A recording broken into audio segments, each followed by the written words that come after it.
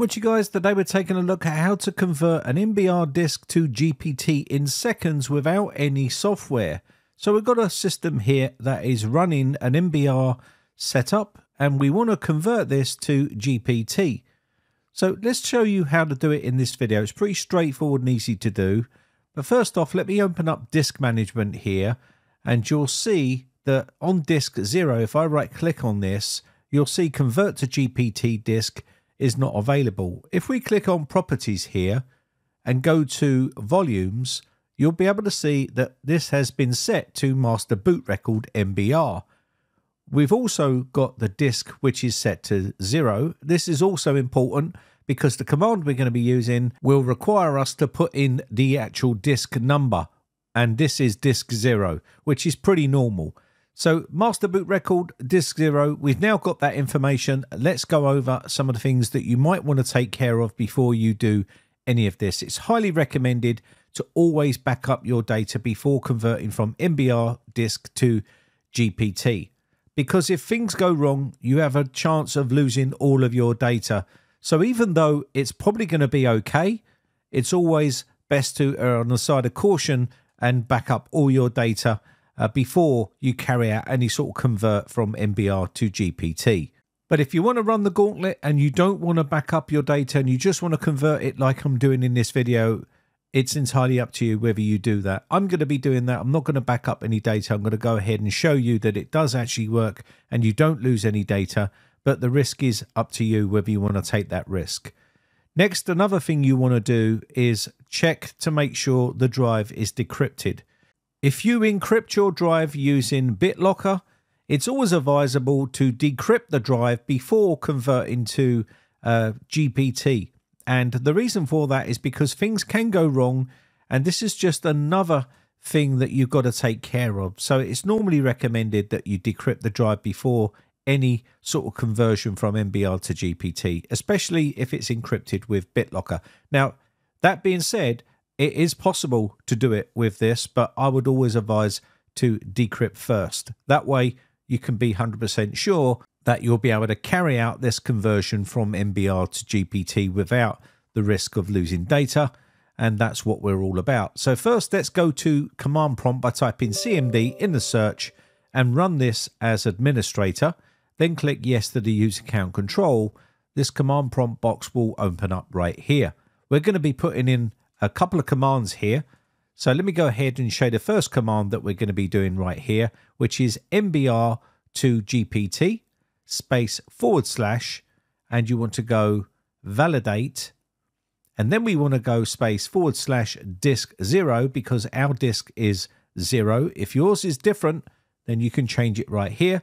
Then go space forward slash allow full OS, just like I've got it on the screen right here.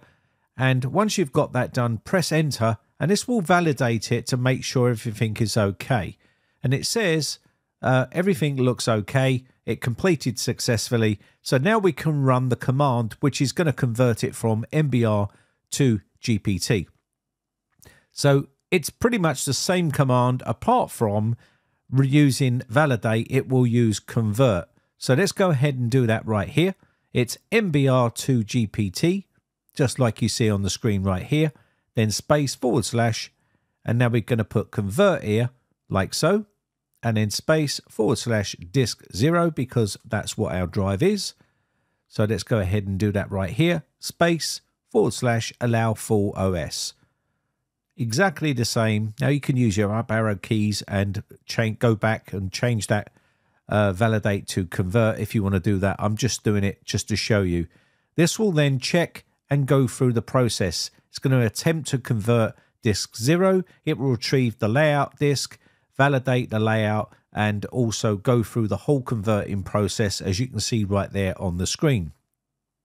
A thing to take note of is what I've highlighted in the bottom in yellow is before the a new system can be booted properly, you need to switch the firmware to boot to UEFI mode. If you are still on a legacy BIOS, you will need to go into the BIOS and change it from legacy to UEFI to make it boot properly. If you leave it set to legacy, uh, which is your MBR BIOS, it's not going to boot and you're going to get uh, no boot on that system. So what we're going to do is we're going to quickly shut the system down. We'll boot into the BIOS and we'll quickly change that from legacy to UEFI. So let me go ahead and quickly zoom out here and we're going to go ahead and shut down the system. You can even reboot into the actual BIOS if you want to and change it there. Now your BIOS might look different, it might look more modern, but whatever it says, it should look something like this in the boot tab and make sure you set it from legacy to UEFI. Once you do that, click save, F10 save, and then it will start to boot up and you should boot straight into Windows like you see right here. All you need to do then is I'll quickly show you that the conversion has been done successfully. All our data is still intact here. I can quickly open this file up just to show you the file is not corrupted in any way, shape or form. Again, making sure that you've got backup of your data is essential, especially if it's a really sensitive sort of information or data that you want to keep. It's always best to back that up. Next, we're going to go to disk management by right clicking on the start button, go to disk management here. And again, I'm going to go to our disk zero here and we're just going to quickly check to see whether the conversion has gone through successfully. So right click, go to properties, and you can see now it says convert to MBR disk, which means it has been successfully converted to GPT. Next, we can go up to volumes and you can see already that it says uh, partition GPT and we're on disk zero, just like so.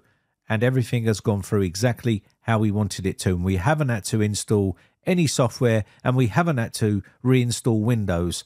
And of course, I took the risk and I didn't have to back up any data. It's done everything exactly how I wanted it to do. And that's pretty much it. So if you're looking to uh, convert your uh, drive from MBR to GPT, that's basically how you can do it. It's built in Windows. You don't need any sort of dedicated software, even though there's loads of dedicated software out there that you can use. Some of it is not free and you have to pay for it. This is the free way of doing things. Pretty straightforward and easy to do. Anyway, but that said, let me know your thoughts in the comments section down below. My name has been Brian from briteccomputers.co.uk. Just want to say a quick shout out to all my YouTube members who joined my YouTube members group. Whether you're tier 1, tier 2, or tier 3, I really do appreciate the support, and your names are rolling up on the screen right now. If you haven't joined our Discord server and you fancy a chat, then join over there. It's free to join. The link is in the video description, and I shall see you over there for a chat. Thanks again for watching. Bye for now.